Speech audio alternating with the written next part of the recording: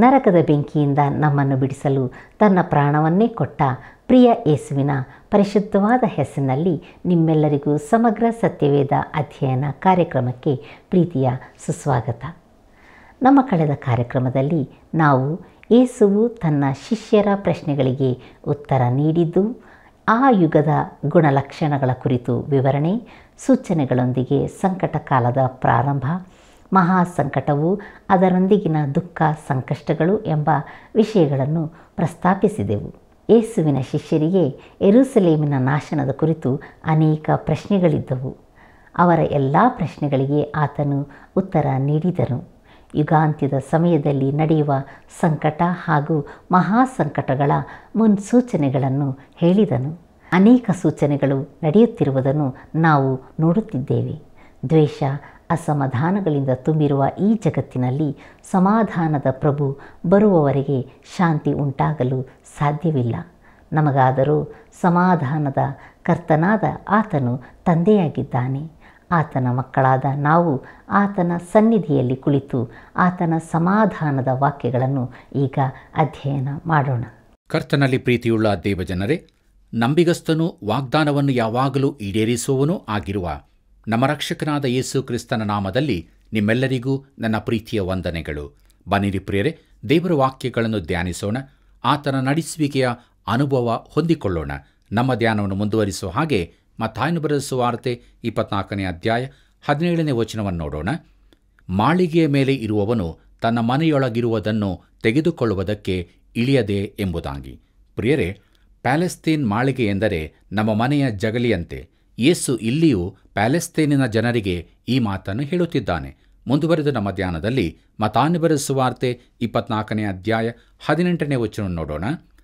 ಹೊಲದಲ್ಲಿರುವವನು ತನ್ನ ಹೊದಿಕೆಯನ್ನು ತೆಗೆದುಕೊಳ್ಳುವುದಕ್ಕೆ ಹಿಂತಿರುಗಿ ಬಾರದೆ ಓಡಿ ಹೋಗಲಿ ಎಂಬುದಾಗಿ. ಪ್ರಿಯರೇ, ಇದು ವ್ಯವಸಾಯದಲ್ಲಿರುವವರ ಕುರಿತಾದದ್ದು. ಹೊಲದಲ್ಲಿರುವವನು ಬೆಳಗ್ಗಿನ ಕೆಲಸವನ್ನು ಮುಗಿಸಿ ಹೋಗುವಾಗ ತಂಪಿನ ಕಾಲದಲ್ಲಿ ಹಾಳು ಮಾಡುವ ಅಸಹ್ಯ ವಸ್ತುವು ಕಾಣಿಸಿಕೊಂಡಿದೆ ಎಂಬ ಸುದ್ದಿ ಬಂದರೆ ಅವನು ತನ್ನ ಹೊದಿಕೆ ತೆಗೆದುಕೊಳ್ಳಲು ಹಿಂತಿರುಗದೆ ಓಡಿ ಹೋಗಲಿ ಎಂಬುದನ್ನು ಹೇಳುತ್ತದೆ.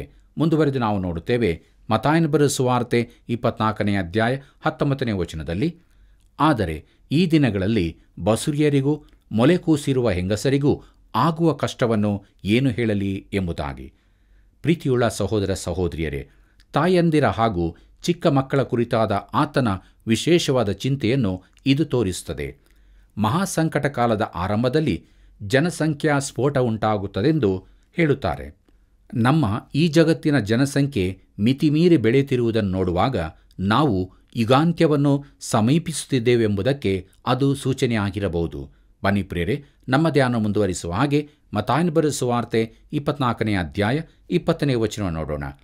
ಆಗ ಮಹಾಸಂಕಟ ಉಂಟಾಗುವುದರಿಂದ ನಿಮ್ಮ ಪಲಾಯನವು ಚಳಿಗಾಲದಲ್ಲಿ ಆಗಲಿ ಸಬ್ಬ ದಿನದಲ್ಲಿ ಆಗಲಿ ಆಗಬಾರದೆಂದು ಪ್ರಾರ್ಥನೆ ಮಾಡಿರಿ ಎಂಬುದಾಗಿ. ಪ್ರಿಯರೇ, ಈ ಮಾತು ಸಬ್ಬ ದಿನವನ್ನು ಕೈಕೊಳ್ಳುವವರಿಗಾಗಿ ಹೇಳಲ್ಪಟ್ಟಿದೆ. ಯೇಸು ಯಹೂದ್ಯರಿಗೆ ನೇರವಾಗಿ ಈ ಮಾತು ಹೇಳುತ್ತಿದ್ದಾನೆನ್ನುವುದಕ್ಕೆ ಇದು ಒಂದು ಉದಾಹರಣೆಯಾಗಿದೆ. ನಾವು ಸಬ್ಬ ದಿನದಂದು ದೇವಾಲಯಕ್ಕೆ ಹೋಗದೆ ಭಾನುವಾರದಂದು ಹೋಗುತ್ತಿದ್ದೇವೆ. ಯಾಕಂದರೆ ಅದು ಕರ್ತನಾದ ಏಸು ಸತ್ತವರೊಳಗಿಂದ ಎದ್ದು ಬಂದ ದಿನವಾಗಿದೆ. ಮುಂದುವರೆದು ನಮ್ಮ ಧ್ಯಾನದಲ್ಲಿ ಮತ್ತಾಯನ ಬರೆಸುವಾರ್ತೆ ಇಪ್ಪತ್ನಾಲ್ಕನೇ ಅಧ್ಯಾಯ ಇಪ್ಪತ್ತೊಂದನೇ ವಚನವನ್ನು ನೋಡೋಣ. ಅಲ್ಲಿ ಹೀಗೆ ಬರೆದದೆ, ಅಂಥ ಸಂಕಟವು ಲೋಕ ಹುಟ್ಟಿದ್ದು ಮೊದಲುಗೊಂಡು ಇಂದಿನವರೆಗೂ ಆಗಲಿಲ್ಲ. ಇನ್ನು ಮೇಲೆಯೂ ಆಗುವುದಿಲ್ಲ.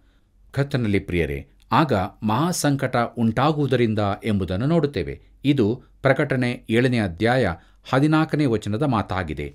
ಅಲ್ಲಿ ಮಹಾ ಹಿಂಸೆ ಎಂಬುದಾಗಿ ಹೇಳಿಯದೆ, ಅಂದರೆ ಈ ಸಂಕಟವು ಅತಿ ವಿಶೇಷವಾದದ್ದಾಗಿರುತ್ತದೆ. ಜಗತ್ತಿನ ಚರಿತ್ರೆಯಲ್ಲಿ ಇಂಥದ್ದು ಇಂದೆಂದೂ ಆಗಿರಲಿಲ್ಲ, ಮುಂದೆ ಆಗಲಿಕ್ಕೂ ಇಲ್ಲ.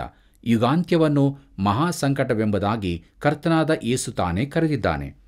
ಅಂಥ ಸಂಕಟವು ಲೋಕ ಹುಟ್ಟಿದ್ದು ಮೊದಲುಗೊಂಡು ಇಂದಿನವರೆಗೂ ಆಗಲಿಲ್ಲ, ಇನ್ನೂ ಮೇಲೆಯೂ ಆಗುವುದಿಲ್ಲ ಎಂಬುದಾಗಿ ನೋಡುವಾಗ ಇದು ಸತ್ಯವಾಗಿರುವುದರಿಂದ ಅದು ಸಂಭವಿಸುವಾಗ ಜನರಿಗೆ ತಿಳಿಯುತ್ತದೆ. ಈ ದಿನಗಳಲ್ಲಿ ಅನೇಕರು ಸಭೆಗಾಗುವ ಸಂಕಟದ ಕುರಿತಾಗಿ ಮಾತನಾಡುತ್ತಾರೆ. ಆದರೆ ಅದು ಎಷ್ಟು ಭಯಂಕರವಾಗಿರಬಹುದೆಂಬ ಕಲ್ಪನೆಯೂ ಅವರಿಗಿರುವುದಿಲ್ಲ. ಇನ್ನು ಕೆಲವರು ನಾವು ಈಗಾಗಲೇ ಮಹಾಸಂಕಟ ಕಾಲದಲ್ಲಿದ್ದೇವೆಂದು ಹೇಳುತ್ತಾರೆ. ಈಗಿನ ಕಾಲ ಕಷ್ಟಕರವಾದದ್ದೇ.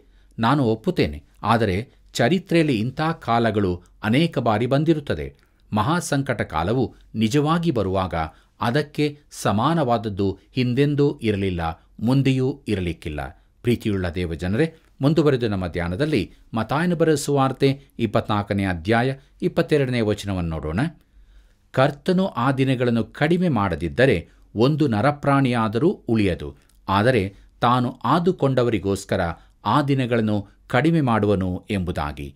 ಪ್ರೀತಿಯುಳ್ಳ ದೇವಜನರೇ ಸಂಕಟ ಕಾಲದಲ್ಲಿ ಭೂಮಿಯ ಜನಸಂಖ್ಯೆಯ ಮೂರನೇ ಒಂದು ಭಾಗ ನಾಶವಾಗುತ್ತದೆಂದು ಪ್ರಕಟಣೆ ಪುಸ್ತಕದಲ್ಲಿ ಹೇಳಿದೆ. ಇನ್ನೊಂದು ಸಂದರ್ಭದಲ್ಲಿ ನಾಲ್ಕನೇ ಒಂದಂಶ ನಾಶವಾಗುತ್ತವೆ. ಇದು ಅದ್ವಿತೀಯವಾದದ್ದು.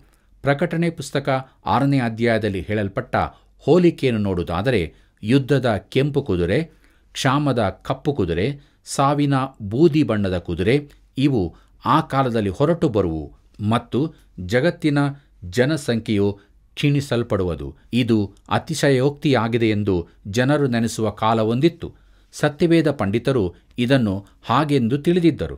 ಆದರೆ ಈಗ ಜಗತ್ತಿನ ಅನೇಕ ರಾಷ್ಟ್ರಗಳು ಅಣುಬಾಂಬುಗಳನ್ನು ಹೊಂದಿರುವಾಗ ಅದು ಲಕ್ಷಾಂತರ ಜನರನ್ನು ನಾಶ ಮಾಡುವ ಶಕ್ತಿ ಹೊಂದಿರುವಾಗ ಇದು ಅಸಾಧ್ಯವೆಂದು ಹೇಳಲಾಗದು.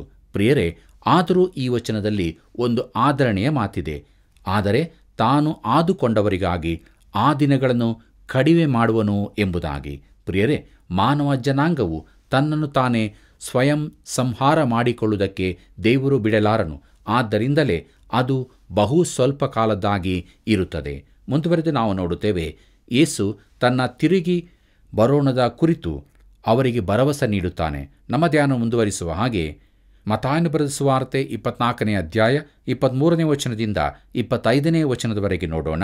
ಅಲ್ಲಿ ಹೀಗೆ ಬರೆದದೆ, ಆಗ ಯಾರಾದರೂ ನಿಮಗೆ, ಅಗೋ, ಕ್ರಿಸ್ತನೋ ಇಲ್ಲಿದ್ದಾನೆ, ಅಗೋ, ಅಲ್ಲಿದ್ದಾನೆ ಎಂದು ಹೇಳಿದರೆ ನಂಬಬೇಡಿರಿ.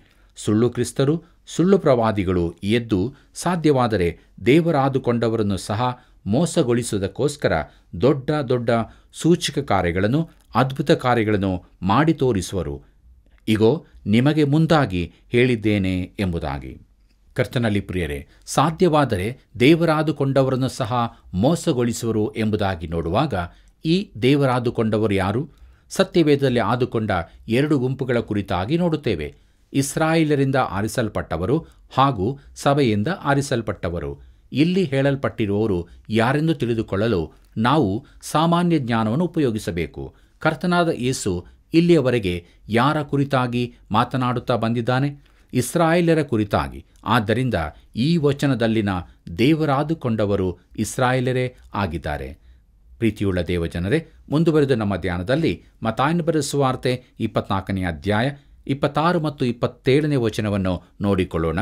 ಅಲ್ಲಿ ಹೀಗೆ ಬರೆದದೆ, ಆದ ಕಾರಣ ಯಾರಾದರೂ ನಿಮಗೆ, ಅಗೋ, ಕ್ರಿಸ್ತನು ಅಡವಿಯಲ್ಲಿ ಇದ್ದಾನೆಂದು ಹೇಳಿದರೆ ಹೊರಟು ಹೋಗಬೇಡಿರಿ. ಇಗೋ, ಕೋಣೆಗಳಲ್ಲಿದ್ದಾನೆಂದು ಹೇಳಿದರೆ ನಂಬಬೇಡಿರಿ. ಹೇಗೆ ಮಿಂಚು ಮೂಡಣದಲ್ಲಿ ಹುಟ್ಟಿ ಪಡವನದವರೆಗೂ ಕಾಣಿಸುತ್ತದೋ ಹಾಗೆಯೇ ಮನುಷ್ಯಕುಮಾರನ ಪ್ರತ್ಯಕ್ಷತೆಯು ಇರುವುದು ಎಂಬುದಾಗಿ. ಕರ್ತನಲ್ಲಿ ಪ್ರಿಯರೇ, ಕ್ರಿಸ್ತನು ತಿರುಗಿ ಬರುವಾಗ ಅದನ್ನು ಮುಂತಿಳಿಸುವ ಸ್ಥಾನಿಕನಾದ ಯೋಹಾನನೂ ಇರುವುದಿಲ್ಲ.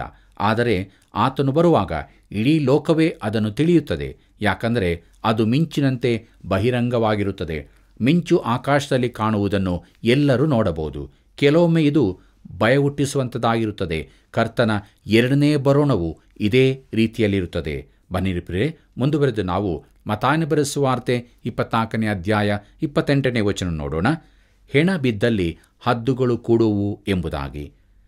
ಪ್ರಿಯರೇ, ಈ ಒಲಿವಾ ಪ್ರವಚನದಲ್ಲಿ ತಿಳಿಯಲು ಅತೀ ಕಷ್ಟಕರವಾದ ವಚನವು ಇದೇ ಆಗಿದೆ. ಮಿಂಚಿನಂತೆ ಪರಲೋಕದಿಂದ ತಾನು ಮಹಿಮೆಯೊಡನೆ ಬರುವ ಕುರಿತಾಗಿ ತಿಳಿಸಿದ ಬಳಿಕ ಹೆಣಗಳನ್ನು ತಿನ್ನುವ ಹದ್ದುಗಳ ಕುರಿತಾಗಿ ಮಾತನಾಡುವುದು ವಿಚಿತ್ರವಾಗಿಯದೆ ಆದರೆ ಇದು ಮುಂದೆ ಬರತಕ್ಕ ಕ್ರಿಸ್ತನು ನಡೆಸುವ ನ್ಯಾಯ ತೀರ್ಪಿನ ಕುರಿತಾಗಿ ಇದೆ ಎಂದು ನಾನು ನಂಬುತ್ತೇನೆ. ಪ್ರಕಟಣೆ ಪುಸ್ತಕ ಹತ್ತೊಂಬತ್ತನೇ ಅಧ್ಯಾಯ ಹದಿನೇಳನೇ ವಚನದಿಂದ ಹತ್ತೊಂಬತ್ತನೇ ವಚನದವರೆಗೆ ಬರೆಯಲ್ಪಟ್ಟ ವಿಚಾರಗಳನ್ನು ನಾವು ನೋಡೋಣ. ಅಲ್ಲಿ ಹೀಗೆ ಬರುತ್ತದೆ ಆಮೇಲೆ ಒಬ್ಬ ದೇವದೂತನು ಸೂರ್ಯನಲ್ಲಿ ನಿಂತಿರುವುದನ್ನು ಕಂಡೆನು. ಅವನು ಮಹಾಶಬ್ದದಿಂದ ಕೂಗುತ್ತಾ ಆಕಾಶದಲ್ಲಿ ಹಾರಾಡುವ ಎಲ್ಲ ಪಕ್ಷಿಗಳಿಗೆ ಬನ್ನಿರಿ, ದೇವರು ಮಾಡಿಸುವ ಮಹಾಭೋಜನಕ್ಕೆ ಕೂಡಿ ಬನ್ನಿರಿ. ರಾಜರ ಮಾಂಸವನ್ನು, ಶಾಸ್ತ್ರಾಧಿಪತಿಗಳ ಮಾಂಸವನ್ನು, ಪರಾಕ್ರಮಶಾಲಿಗಳ ಮಾಂಸವನ್ನು, ಸ್ವತಂತ್ರರು, ದಾಸರು, ದೊಡ್ಡವರು, ಚಿಕ್ಕವರು, ಇವರೆಲ್ಲರ ಮಾಂಸವನ್ನು ತಿನ್ನುವುದಕ್ಕೆ ಬನ್ನಿರಿ ಎಂದು ಹೇಳಿದನು. ತರುವಾಯ ಆ ಮೊದಲನೆಯ ಮೃಗವು ಭೂರಾಜರು, ಅವರ ಸೈನ್ಯಗಳವರು, ಆ ಕುದುರೆಯ ಮೇಲೆ ಕೂತಿದ್ದವನ ಮೇಲೆಯೂ ಆತನ ಸೈನ್ಯದ ಮೇಲೆಯೂ ಯುದ್ಧ ಮಾಡುವುದಕ್ಕಾಗಿ ಕೂಡಿ ಬಂದಿರುವುದನ್ನು ಕಂಡೆನು ಎಂಬುದಾಗಿ. ಪ್ರಿಯರೇ, ಹೆಣಗಳನ್ನು ತಿನ್ನುವ ಹದ್ದುಗಳು ನ್ಯಾಯ ತೀರ್ಪಿನ ದೂತರಂತೆ ಕಾಣುತ್ತವೆ. ಕರ್ತನು ತಿರುಗಿ ಬರುವಾಗ ನ್ಯಾಯ ತೀರಿಕೆಗಾಗಿ ಬರುವನು. ಮುಂದುವರೆದು ನಮ್ಮ ಧ್ಯಾನದಲ್ಲಿ ಮತಾಯನ ಬರೆಸುವಾರ್ತೆ ಇಪ್ಪತ್ನಾಲ್ಕನೇ ಅಧ್ಯಾಯ ಇಪ್ಪತ್ತೊಂಬತ್ತನೇ ವಚನವನ್ನು ನೋಡೋಣ. ಆ ದಿನಗಳ ಸಂಕಟವು ತೀರಿದ ಕೂಡಲೇ ಸೂರ್ಯನು ಕತ್ತಲಾಗಿ ಹೋಗುವನು, ಚಂದ್ರನು ಬೆಳಕು ಕೊಡದೆ ಇರುವನು, ನಕ್ಷತ್ರಗಳು ಆಕಾಶದಿಂದ ಉದುರುವವು ಎಂಬುದಾಗಿ. ಪ್ರಿಯರೇ, ಇದು ಆ ದಿನಗಳ ಸಂಕಟವು ತೀರಿದ ಕೂಡಲೇ ಆಗತಕ್ಕ ಘಟನೆ ಎಂಬುದನ್ನು ಗಮನಿಸಿರಿ. ಈ ಎಲ್ಲ ಸಂಗತಿಗಳು ಕ್ರಿಸ್ತನು ಈ ಲೋಕಕ್ಕೆ ಎರಡನೇ ಸಾರಿ ಬರುವಾಗ ನಡೆಯುತ್ತವೆಂದು ನನ್ನ ಎಣಿಕೆಯಾಗಿದೆ. ಬನ್ನಿ ಪ್ರೇರೆ ಮುಂದುವರೆದು ನಾವು ಮತಾಯನ ಬರೆಸುವಾರ್ತೆ ಇಪ್ಪತ್ನಾಲ್ಕನೇ ಅಧ್ಯಾಯ ಮೂವತ್ತನೇ ವಚನವನ್ನು ನೋಡೋಣ. ಆಗ ಮನುಷ್ಯಕುಮಾರನನ್ನು ಸೂಚಿಸುವ ಗುರುತು ಆಕಾಶದಲ್ಲಿ ಕಾಣಬರುವುದು. ಆಗ ಭೂಲೋಕದಲ್ಲಿರುವವರು, ಎಲ್ಲಾ ಕುಲದವರು ಎದೆ ಬಡಕೊಳ್ಳುವರು. ಮತ್ತು ಮನುಷ್ಯಕುಮಾರನು ಬಲದಿಂದಲೂ ಬಹು ಮಹಿಮೆಯಿಂದಲೂ ಆಕಾಶದ ಮೇಘಗಳ ಮೇಲೆ ಬರುವುದನ್ನು ಕಾಣುವರು ಎಂಬುದಾಗಿ.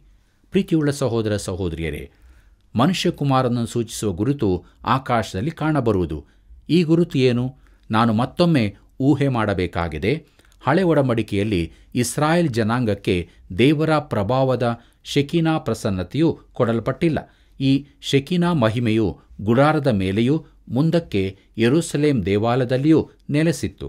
ಆದರೆ ಇಸ್ರಾಯೇಲ್ಯರ ಪಾಪದ ಕಾರಣದಿಂದಾಗಿ ಈ ಮಹಿಮೆಯು ಅವರನ್ನು ಬಿಟ್ಟು ಹೋಯಿತು ಕ್ರಿಸ್ತನು ಪ್ರಥಮ ಬಾರಿಗೆ ಈ ಲೋಕಕ್ಕೆ ಬಂದಾಗ ಆತನು ಈ ಮಹಿಮೆಯನ್ನು ತೆಗೆದಿಟ್ಟನು.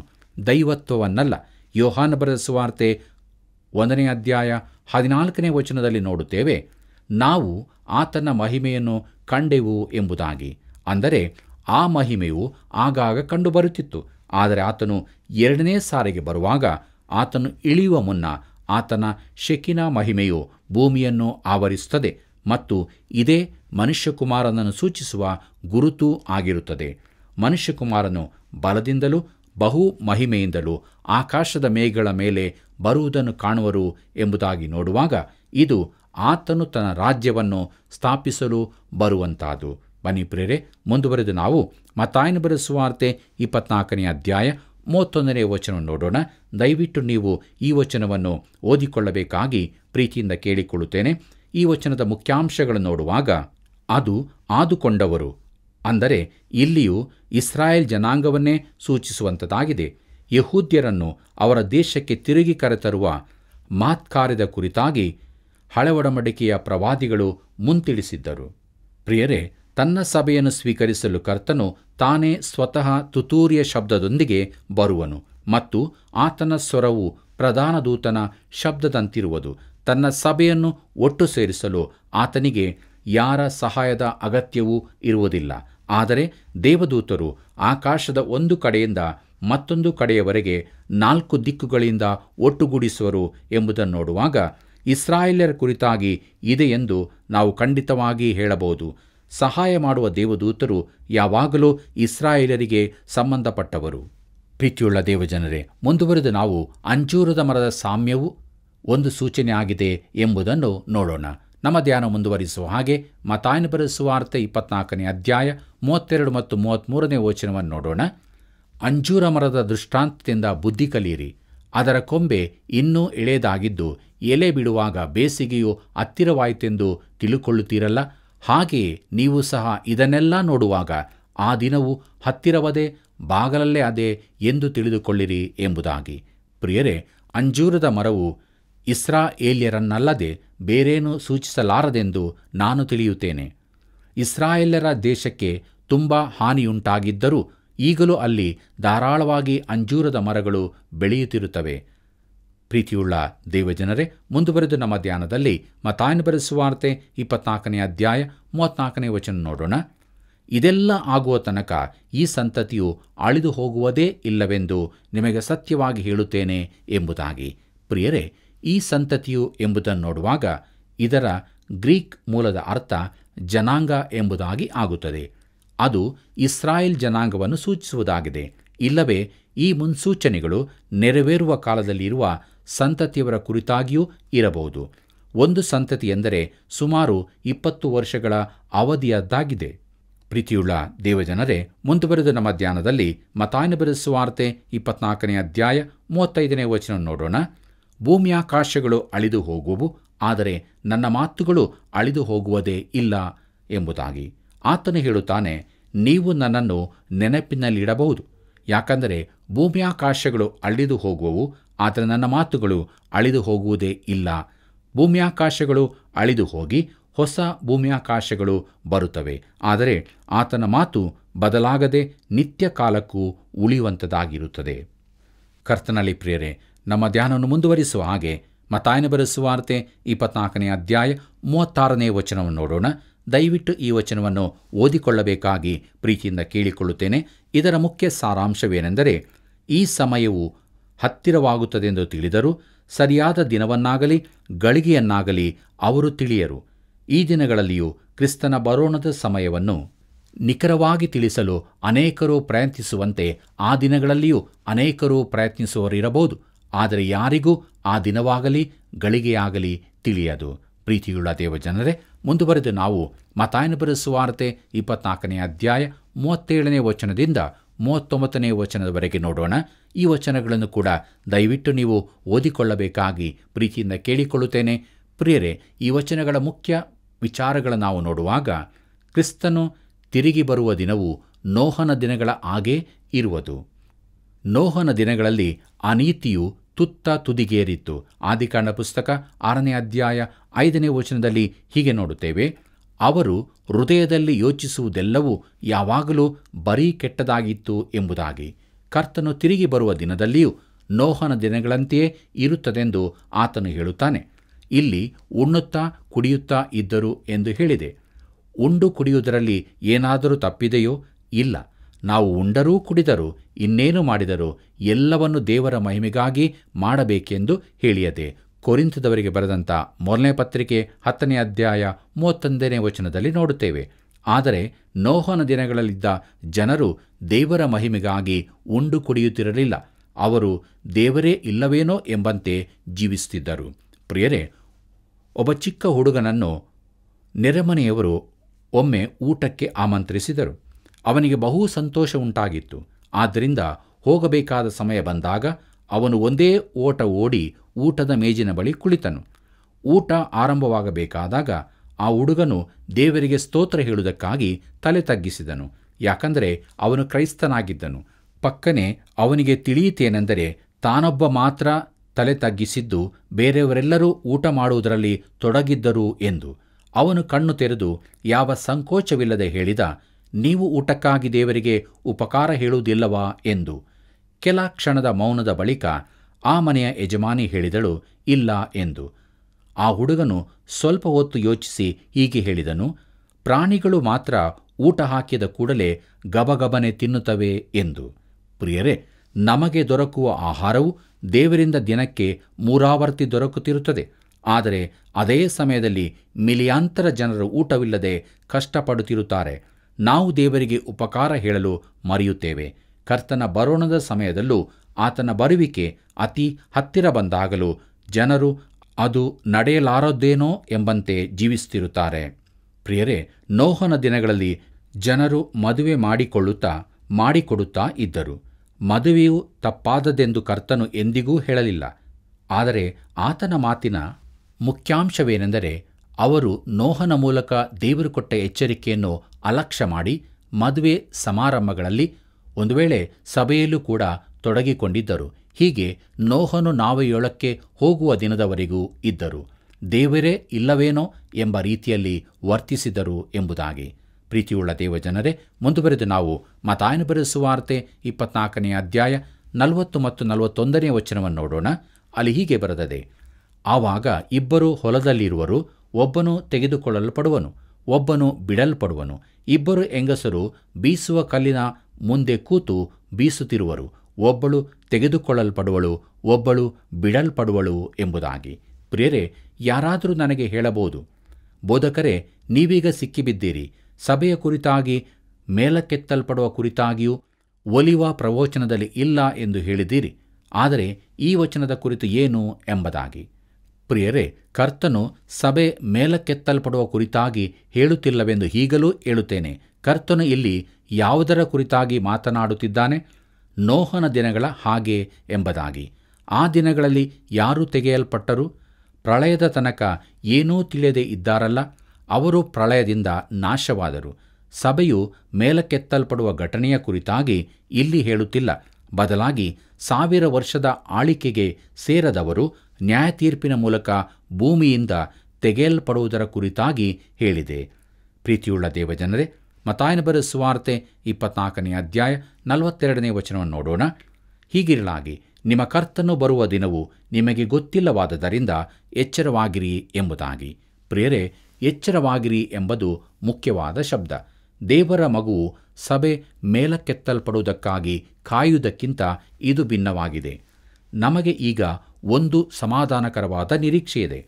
ಆ ದಿನಗಳಲ್ಲಿನ ಕಾಯುವಿಕೆ, ಭಯ ಹಾಗೂ ಆತಂಕಗಳಿಂದ ಕೂಡಿದಂಥದ್ದು ರಾತ್ರಿ ಅವರು ಹೇಳುವರು, ದೇವರೇ, ಬೆಳಿಗ್ಗೆಯಾಗಲಿ ಎಂದು. ಬೆಳಿಗ್ಗೆ ದೇವರೇ, ರಾತ್ರಿಯಾಗಲಿ ಎಂದು ಹೇಳುವರು. ಈ ದಿನಗಳಲ್ಲಿ ನಾವು ಕರ್ತನ ಬರೋಣಕ್ಕಾಗಿ ಕಾಯುತ್ತಾ ಎದುರು ನೋಡುತ್ತಾ ಇರುತ್ತೇವೆ. ಆದರೆ ಆ ದಿನಗಳಲ್ಲಿ ಆತಂಕದಿಂದ ಕಾಯುತ್ತಿರುತ್ತೇವೆ.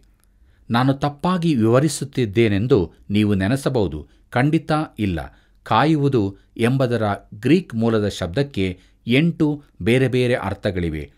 ಆಂಗ್ಲ ಭಾಷೆಯಲ್ಲಿ ಒಂದೇ ಶಬ್ದವಾದರೂ ಅದಕ್ಕೆ ಬೇರೆ ಬೇರೆ ಅರ್ಥಗಳಿವೆ. ಬನ್ನಿರಿ ಪ್ರಿಯರೇ, ನಮ್ಮ ಕಾರ್ಯಕ್ರಮದ ಅಂತ್ಯ ಭಾಗಕ್ಕೆ ನಾವು ಬಂದಿರುವಾಗ ಕೊನೆಯದಾಗಿ ಮತಾಯನ ಬರೆದ ಸುವಾರ್ತೆ ಇಪ್ಪತ್ನಾಲ್ಕನೇ ಅಧ್ಯಾಯ ನಲವತ್ತ್ಮೂರನೇ ವಚನದಿಂದ ನಲವತ್ತೈದನೇ ವಚನದವರೆಗೆ ನೋಡೋಣ. ಅಲ್ಲಿ ಹೀಗೆ ಬರುತ್ತದೆ ಕಳ್ಳನು ಬರುವ ಜಾವ ಮನೆಯ ಯಜಮಾನನಿಗೆ ತಿಳಿದಿದ್ದರೆ ಅವನು ಎಚ್ಚರವಾಗಿದ್ದು ತನ್ನ ಮನೆಗೆ ಕನ್ನ ಹಾಕಗೊಡಿಸುತ್ತಿರಲಿಲ್ಲವೆಂದು ತಿಳುಕೊಳ್ಳಿರಿ. ಆದ ಕಾರಣ ನೀವು ಸಹ ಸಿದ್ಧವಾಗಿರಿ. ನೀವು ನೆನೆಸದ ಗಳಿಗೆಯಲ್ಲಿ ಮನುಷ್ಯಕುಮಾರನು ಬರುತ್ತಾನೆ. ಹಾಗಾದರೆ ಯಜಮಾನನು ತನ್ನ ಮನೆಯವರಿಗೆ ಹೊತ್ತು ಹೊತ್ತಿಗೆ ಆಹಾರ ಕೊಡಲಿಕ್ಕೆ ಅವರ ಮೇಲಿಟ್ಟ ನಂಬಿಗಸ್ತನು ವಿವೇಕಿಯೂ ಆದಂಥ ಆಳು ಯಾರು ಎಂಬುದಾಗಿ. ಪ್ರೀತಿಯುಳ್ಳ ದೇವಜನರೇ, ಈ ಒಲಿಯುವ ಪ್ರವಚನದ ಉಳಿದ ಭಾಗದಲ್ಲಿ ತನ್ನ ಬರೋಣದ ಕುರಿತು ಜನರ ವಿವಿಧ ಪ್ರತಿಕ್ರಿಯೆಗಳು ಹಾಗೂ ನಿಜವಾಗಿ ಆತನು ಬಂದಾಗ ನಡೆಯುವುದೇನು ಎಂಬ ಕುರಿತಾಗಿ ಕೆಲವು ಸಾಮ್ಯಗಳನ್ನು ಆತನು ಹೇಳುತ್ತಿದ್ದಾನೆ. ಪ್ರೀತಿಯುಳ್ಳ ದೇವಜನರೇ, ಯೇಸು ಕ್ರಿಸ್ತನು ಎರಡನೇ ಬಾರಿ ಯಾವಾಗ ಬರುತ್ತಾನೆ ಎಂದು ನಮಗೆ ಗೊತ್ತಿಲ್ಲದೆ ಇರುವುದರಿಂದ ನಮ್ಮ ಜೀವಿತವು ನಂಬಿಗಸ್ತನು ವಿವೇಕಿಯೂ ಆದ ಆಳಿನಂತಿರಬೇಕು. ಆದುದರಿಂದ ಯಾವಾಗಲೂ ದೇವರಾತ್ಮನ ಹತೋಟಿಯಲ್ಲಿ ಇದ್ದವರಾಗಿ ಆತನ ಬರೋಣವನ್ನು ಎದುರು ನೋಡುತ್ತಾ ನಮ್ಮ ಜೀವಿತದಲ್ಲಿ ಮುನ್ನಡೆಯೋಣ. ಬನ್ನಿರಿ ಪ್ರೇರೆ ಪ್ರಾರ್ಥನೆ ಮಾಡೋಣ. ಕೃಪಾಳು ದೇವರೇ, ನೀನು ಕೊಟ್ಟಂಥ ಎಚ್ಚರಿಕೆಯ ಮಾತುಗಳಿಗಾಗಿ ನಿನಗೆ ಸ್ತೋತ್ರ. ರಕ್ಷಕನೇ, ನಿನ್ನ ಬರೋಣವನ್ನು ಎದುರು ನೋಡುತ್ತಾ ಯಾವಾಗಲೂ ಸಿದ್ಧರಾಗಿದ್ದುಕೊಂಡು ಜೀವಿಸುವುದಕ್ಕೆ ನಮಗೆ ಸಹಾಯ ಮಾಡು. ಯಾರ್ಯಾರು ಇದನ್ನು ಅಲಕ್ಷ್ಯ ಮಾಡುತ್ತಾರೋ ಅಂಥವರ ಜೀವಿತಗಳಲ್ಲಿ ಕಾರ್ಯ ಮಾಡು. ಅವರೆಲ್ಲರೂ ಸಿದ್ಧರಾಗಿರುವಂತೆ ನಿನ್ನ ವಾಕ್ಯಗಳನ್ನು ಕಳುಹಿಸಿಕೊಡು. ನೀನು ಅವರನ್ನು ಬಲಪಡಿಸು. ನಮ್ಮನ್ನೇ ನಿನ್ನ ಕೈಗಳಿಗೆ ಒಪ್ಪಿಸಿಕೊಟ್ಟಿದ್ದೇವೆ. ನಿನ್ನ ರೆಕ್ಕೆಯ ಮರಳಿದ್ದುಕೊಂಡು ಆನಂದಘೋಷ ಮಾಡುತ್ತಾ ಜೀವಿಸುವಂಥ ಜೀವಿತ ನಮ್ಮದಾಗಲಿ. ಏಸ್ವಿ ನಾಮದಲ್ಲಿ ಬೇಡಿದ್ದೇವೆ ತಂದೆ. ಆಮೇಲೆ ಪ್ರೀತಿಯ ದೇವಮಕ್ಕಳೇ ಏಸುವಿನ ತಿರುಗಿ ಬರೋಣದ ಕುರಿತು ಇದುವರೆಗೆ ಅಧ್ಯಯನ ಮಾಡಿದೆವು. ಕರ್ತನು ಬಹು ವಿವರವಾಗಿ ಎರುಸಲೀಮಿನ ನಾಶನ ಮಹಾ ಸಂಕಟಗಳ ಕಾಲದ ಮುನ್ಸೂಚನೆಗಳು, ಆತನು ತಿರುಗಿ ಬರೋಣ, ಹೀಗೆ ಒಂದೊಂದಾಗಿ ತಿಳಿಸಿಕೊಟ್ಟಿದ್ದಾನೆ. ಯುಗಾಂತ್ಯಕ್ಕೆ ಸಮೀಪವಾಗಿರುವ ನಾವು ಆತನ ಬರೋಣಕ್ಕಾಗಿ ಎಲ್ಲ ಸಮಯದಲ್ಲಿಯೂ ಸಿದ್ಧರಾಗಿರಬೇಕು. ಯಾಕೆಂದರೆ ಆ ದಿವಸವಾದರೂ, ಆ ಗಳಿಗೆಯಾದರೂ ಯಾರಿಗೂ ತಿಳಿದಿಲ್ಲ. ಆದರೆ ನಮ್ಮ ಈ ಲೋಕದ ಜೀವಿತ ನಿಗದಿತವಾಗಿದೆಯಲ್ಲವೇ? ನಮ್ಮ ಸಮಯವು ಇನ್ನೂ ಇರುವಾಗಲೇ ಆತನ ಹಾದಿಯಲ್ಲಿ ನಡೆದು ಸಂತೋಷದಿಂದ ಆತನನ್ನು ಎದುರು ನೋಡೋಣ. ಹೀಗಾಗುವಂತೆ ಕರುಣೆಯುಳ್ಳ ಕರ್ತನ ಕೃಪೆಯು ನಿಮ್ಮೆಲ್ಲರೊಂದಿಗೆ ಇರಲಿ. ಈ ಕಾರ್ಯಕ್ರಮ ನಿಮಗೆ ಇಷ್ಟವಾಯಿತೆ? ಈಗಲೇ ಒಂದು ಮಿಸ್ಡ್ ಕಾಲ್ ಕೊಡಿರಿ. ಮುಂದಿನ ವಿಜೇತರು ನೀವಾಗಿರಬಹುದು.